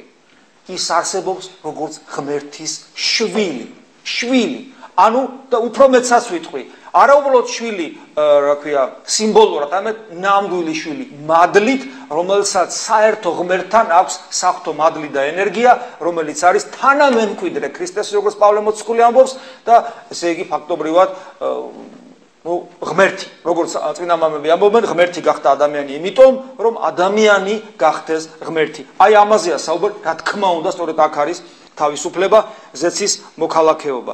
და შემდეგ აგძელებს მიღმიერი მეუფებისაგან, მეუფებისაკენ აღმავალი კიბე შენს სულში არის დავანებული. ანუ ჩვენ, ანუ ბედნიერების წყარო საძებნელი არა გვაქვს. თავისუფლების წყარო საძებნელი არა გვაქვს. ეს ყველაფერი ჩვენშია. ეს არის საოცარი განძი მოცემული ჩვენთვის მართლმადიდებლობისაგან. ეს არის მართლმადიდებლობის სიდიადე, რომელიც გავსი არ არსებობს. კათოლიციზმში ხშირად გვითხოვს, ჩვენსა და ღმერთშუა დიდი ბარიერია მოძღვრებითად კათოლიციზმში. ეს ბარიერი არის ის ის ენერგია საფრთხო, რომელიც ღმერთი არ არის, რომელიც ღმერთის ქმნილებაა განსაკუთრებული, რომელიც ბუფერულ ზონას ქმნის ჩვენსა და ღმერთშუა. ხოლო მართლმადიდებლობა მეუნება ჩვენსა და ღმერთშუა, დიახაცა ეს ჩვენსა და ღმერთშუა არაფერი არ არის, იმიტომ რომ ეს ენერგია მადლი თავად ღმერთია თავის ენერგიებში. და ეს არის სწორედ ის, რასაც გვასწავლის მართლმადიდებლობა, უნიკალური მოძღვრება და რომელიც ეფუძნება წმინდა წელსაც, როცა პეტრე მოციქული ამბობს, ჩვენ საფრთხო ბუნების თანაზიარი უნდა გავხდეთ. როგორ გავხდებით საფრთხო ბუნების თანაზიარი, თუ მადლი, ანუ საფრთხო ენერგია არ არის საფრთხო ბუნება, არის საფრთხო არსი, არის საფრთხო ენერგია და ენერგიაცა და არსიც არის საფრთხო ბუნება. როგორ გავხდები საფრთხო ბუნების ნაწილი, ზიარი თუ ენერგია? და მადლი არ არის თავად ღმერთი. და აი კიდე ერთი და ამათ უკვე მალე დავასრულებ. ძალიან მნიშვნელოვანია პრაქტიკული თვალსაზრისით, რასაც ხა წავიკითხავ. იყვნეს ცრუ წინასწარმეტყველნი ერთ საშორის ეს პეტრე მოციქულის მეორე ეპისტოლია. და ვითარცა იგი თქვენ შორისაც ყოფად არიან ცრუ მოძღვარნი, რომელთა შემოიღონ წვალებაი, წარწმედისაი, წვალება ხშირად ადამიანს გონიათ რომ რაღაცას რო აწვალებ. წვალება სიტყვა განწვალებიდან არის განწვალება ეს არის განყოფა. ანუ წვალებელი არის ქრისტეს სხეულის განყოფელი. ანუ ეკლესია არის ქრისტეს სხეულის გაგრძელება ქრისტეს სხეულის ნაწილი და როცა თქვა ადამიანი არის მწვალებელი ამ ქრისტეს სხეულს ჩეხავს. ანუ ყოველი ადამიანი რომელიც უპირისპირდება ეკლესიის მთლიანობას ის არის რატო ამბობენ წმინდა მამები რომ გონი კვიპრიანე კართაგენელი ამბობს რომ მწვალებლის სოდვა ისეთი დიდია რომ იმას სისხლითაც ვერ ჩამოირეცხს. რატო? იმიტომ რომ ადამიანს ცოდები მიეტევება ეკლესიაში როგორც უფალი ამბობს. ეს ნიშნავს არა იურიდიულ პატიობას, არამედ არსობრივ განკურნებას ადამიანური ბუნებისა და ღმერთთან ყოფობას. ეს ხდება იმით, რომ ქრისტეს მისტიური სხეულის ორგანული ნაწილები ვართ. ეს არის ეკლესია. როგორც კი ადამიანი ამ მისტიურ სხეულში ხას გაავლებს და მოკვეთს ის უკვე აღარ არის განკაცებული ღმერთის ადამიანური გახთობილი ადამიანური ბუნების ორგანული ნაწილი, მოკვეთილია მას და მისი პატიება შესაძლებელია. მაგრამ ცხონება შეუძლებელი ხდება, იმიტომ რომ ცხონება ეს არის ღმერთთან ორგანული, ისეთი ორგანული ერთობა, როგორც აქვს ქრისტეს განკაცებული განკაცებული ღმერთის ადამიანურ ბუნებას როგორი ადგილიც უკავია საფრთხო წიაღში, ანუ დაждდა მარჯვენა ღვთისა და მამის. გესმით, ამიტომ წვალება ძალიან საშიში რამეა და ნებისმიერი ჩვენი ქმედება მიმართული ეკლესიაში განხეთქილების შესატანად არის დამღუპელი საკუთარი თავისათვის. ესე იგი, ყოფად არიან ცრუ მოძღვარნი, რომელთა შემოიღონ წვალება წარწმედისა და განმან თავისუფლებელსა მათ საუფალსა უარყოფენ. ანუ ერთ-ერთი მიზეზი წვალებისა, ანუ განხეთქილების შეტანისა ეკლესიაში არის ადამიანის ისეთი სწავლება, რომელიც უარყოფს ქრისტეს როგორც მხსნელს. ყველას მხსნელს, მოსიყვარულეს. ჩვენთვის მომკვდარს, რომელიც ამბობს, რომ მე ჩემ ხელშია ცხონება და ვისაც მე მინდა იმას მივცე. რომელიც ამბობს, რომ კლიტენი ჯოჯოხეთისანი მე მიპყრია. ეს ხშირად ავიწყდებათ ადამიანებს და ძალიან ხშირად არის ხოლმე როცა ადამიანებს ამისამართებენ ჯოჯოხეთში. როდესაც ჩვენი ღვთისმეტყველება არის არა ევანგელიე, ანუ ხარება, ხარება კი არ არის, არამედ ჯოჯოხეთის ქადაგებად იქცევა. ეს მე და გვავიწყდება რომ არ წერია წმინდა წერილში, რომ ჩვენ რაიმე ძალაუფლება გვაქვს ჯოჯოხეთზე, ან ადამიანის ჯოჯოხეთში გაგზავნაზე. იმპერატიული ტონით ამბობს ამას უფალი წმინდა წელში აპოკალიფსია ეს. კლიტენი ჯოჯოხეთისანი მე მიფყრია და დავიდუმოთ ყველამ პირი და ნუუშებთ ადამიანებს ჯოჯოხეთში. ჩვენ მოგცა ღმერთმა კლიტენის ასუფევლისანი რას ნიშნავს? ეს ნიშნავს იმას რომ ჩვენ მოგცა ღმერთმა მოძღვრებითად ცოდნა თუ როგორ უნდა ცხონდეს ადამიანი ზუსტად ვიცით თუ ცოდნა გვაქვს მართლმადიდებლობაში, რომ შეიძლება არ გქონდეს ეს ცოდნა. თუ მართლმადიდებლობის ცოდნას ფლო, ზუსტად იცი როგორ რა უნდა გააკეთო რომ ცხონდე. ეს არის სიდიადე მართლმადიდებლობისა. და თუ ამას არ აკეთებ, ეს არის გზა წარწმენდისა. მაგრამ ვინ წარწმდება და ჯოჯოხეთში ვინ ჩავა? ეს ჩვენი ჩვენს ძალაუფლების მიღმა არის. ეს არის ძალიან მნიშვნელოვანი. და როდესაც ჩვენ ქრისტეს ამგვარად არ დავინახავთ, მაშინ ჩვენ ჩვენში არის ეს სული, ანუ ჩვენ ვითვისებთ ქრისტეს ქრისტეს ძალაუფლებას. ღვთაებრივ ძალაუფლებას ვითვისებთ და გამოვგლეჭთ მას, მას გამოვგლეჭ ამ უფლებამოსილებას და ძალაუფლებას, რომ კლიტენი ჯოჯოხეთისანი მას უყრია და ჩვენ ვუშვებთ ადამიანებს ჯოჯოხეთში. ეს არის ძალიან დიდი შეცდომა, როცა ამგვარად ვფიქრობ. თავი და აი ნახეთ, აი აქ მე ეს ეს ძალიან მნიშვნელოვანია კიდე.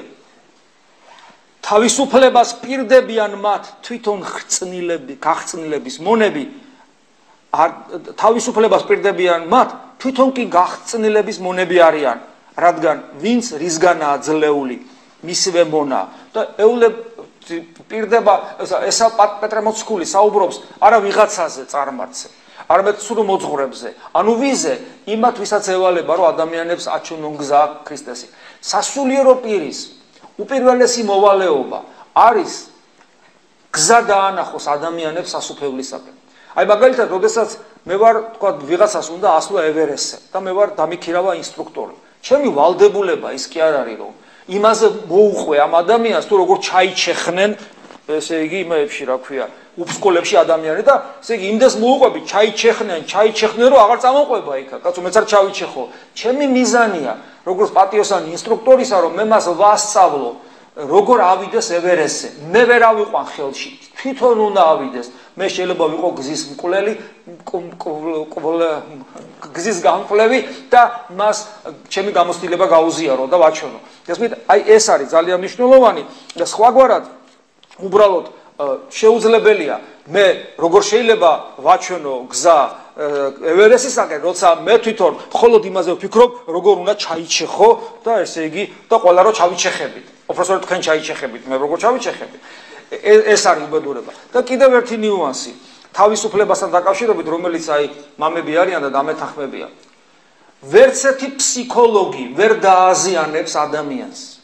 ვერცეთი იურისტი, ვერცეთი პოლიციელი, ვერცეთი, ვერცეთი, ვერცეთი, ვერცეთი, ვერცეთი, რასაც არ უნდა, რა თანამდებობაც, რა საქმიანობას არ უნდა ეწეოდეს, ვერცეთი ჯალათი, რომელიც ადამიანს აწამებს და კლავს, ვერ დააზიანებს ადამიანს ისე, როგორც როგორც მღვდელი, რომელიც არასწორად მოწყობს.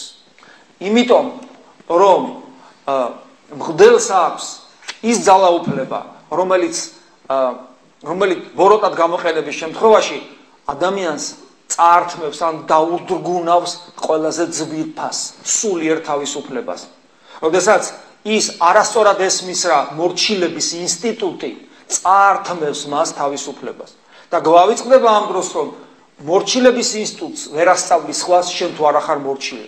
ხოლო ვერ იქნები შენ მორჩილი თუ შენ პატივს არ სცემს ხვის თავისუფლებას.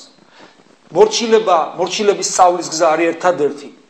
ხვის თავისუფლებას არ შეეხო. ეს არის გზა მორჩილებისა და შენ თუ ეს არის მღვდელმა, შენ თუ არ ეფოფინების ხვის მორჩილებას, ხვის თავისუფლებას, მაშინ არიცი რა მორჩილების თავისუფლების ფასი შენ წართმევ ადამიანს ან დაუდგუნავ თავისუფლებას და თავისუფლება წართმეული ადამიანი არის ყველაზე უბედური ადამიანი. და თუ ესეთი თუ მოძღვარი ესე ხედავს თავის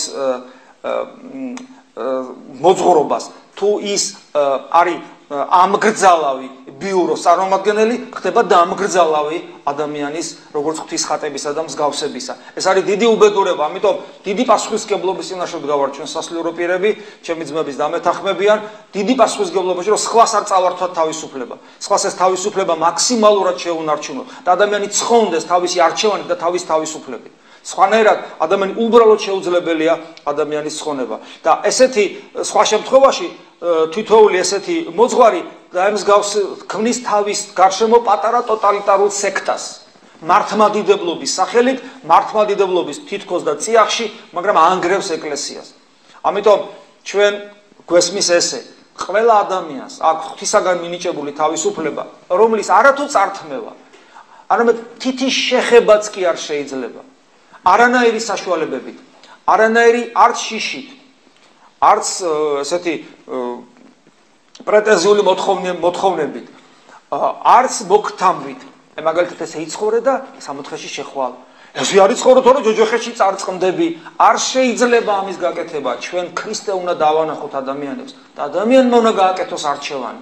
და დაგიჯერებს თუ არა ესეც მისი აბსოლუტურად თავისუფალი არჩევანი უნდა იყოს. და არა ისე რომ ყველაფერს უგზალავ ყველაფერს ახშობ ადამიანში და ღებულობ ადამიანის ბუტაფორიას რომელიც პატარა ლეკოვი შეიძლება მოგდებდეს მაგრამ სასופოლოს იმკვიდრებს ადამიანი და არა უბრალოდ რაღაც ბიოლოგიური ასები.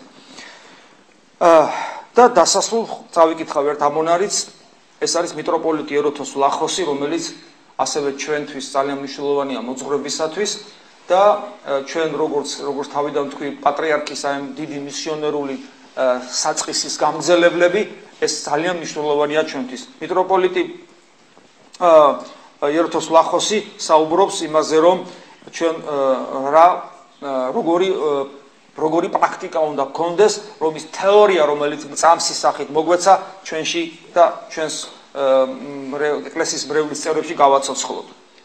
დღეს სულიერი და საღმთისმეტყველო თემებით დაინტერესებულ ადამიანთა შორის ერთგვარი გაურკვევლობაა. პრაქტიკისაგან განცალკევებული საღმთისმეტყველო თეორიული მსჯელობანი რომლებიც სულიერი გამოცდილებით არ არიან გამყარებულნი, მრავალ ზიანს აყენებენ მართლმადიდებელ ეკლესიას. ჩვენი დროის სამწუხარო და ტრაგიკული რეალობაა, რომ მრავალნი საუბრობენ ადამიანის გაღმრთობაზე, მაგრამ გზას და მიზნის მიღწევის მეთოდებს არ ახსენებენ. ეს ფუნდამენტალური შეცდომაა. რამე თუ როგორც ყოველ მეცნიერებაში თუ არ არსებობს მეთოდოლოგია, არ გვექნება რეზულტატი, არ გვექნება რეზულტატი. იგივე ითქმის ღვთისმეტყველებაზე. როდესაც ღვთისმეტყველება არ მიუთითებს გზასა და მეთოდიკაზე, ანუ ასკეტურ ისიხასტურ მეთოდზე, იგი ვერასოდეს წარუძღება ადამიანს საბოლოო მიზნისაკენ. იმიტომ რომ როგორც კი ამ გზას არაჩვენებ, იმ წამსვე იწყებ იმპერატორული ტონით ადამიანების დამორჩილებას. აბაილოცე, აბაიმარხულე, ესი არ ჩაიცვა, ესი არ გააკეთო, გესმით, რაღაცას ჯულს იგონებ შენსას. და შენ სხვა რამე გზა დაანახო თვითონ უნდა იმოძრაოს. და ბოლოს ესე ასრულებს ასეთი ღვთისმეტყველება სახიფათოა.